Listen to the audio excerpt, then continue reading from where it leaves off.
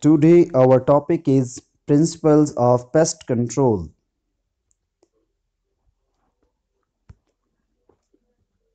Definition of a pest.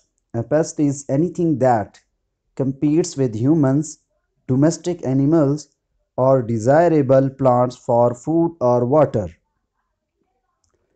A pest is anything that injures humans, animals, desirable plants, structure, or possessions. A pest is anything that spread disease to humans, domestic animals, wildlife, or desirable plants. Types of pests Insects, insecticides, beetles, caterpillars, aphids. Insect like organisms like spider, ticks, mites.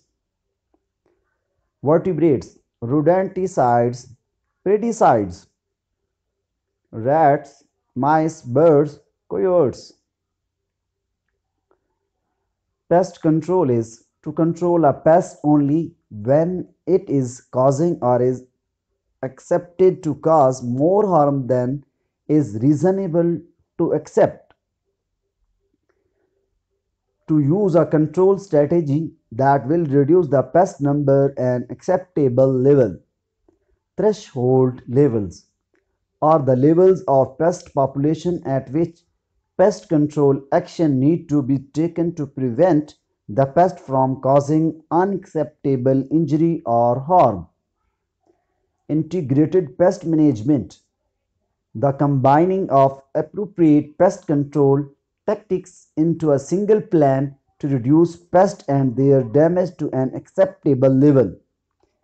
To solve pest problems, choose a control strategy that will be most effective and cause the least harm to people and the environment. Use each tactic in the strategy correctly. Observe local, state, and federal laws. Questions to ask What kind of pests are present? Second, are the numbers great enough to warrant control? Have the control efforts successfully reduced the number of pests? Pest control failures. Pest is resistant to pesticides. Pesticide resistance describe the decreased susceptibility of a pest population to a pesticide that was previously effective at controlling the pest. Incorrect pesticides. The wrong pesticide. Incorrect application method for example the wrong equipment incorrect pest in identification the wrong like bug incorrect dose too much water too much water key points a pest is anything that competes injuries spread disease or annoys humans domestic animals or desirable plant. Pest control is a control or pest only when it is causing or expected to cause more harm than is reasonable to acceptable.